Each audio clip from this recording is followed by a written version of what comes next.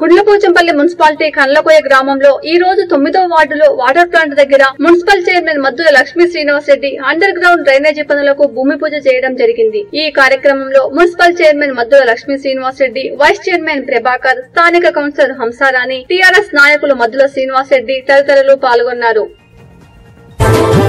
చెలిమి కోరుతున్నవి చెమట చుక్కలు నీ సాయం అడుగుతున్నవి కూలి చేతులు. నిన్ను పిలుస్తున్నవి లక్షల గొంతులు నీ సేవ కోరుతున్నవి తెలంగాణ పల్లెలు.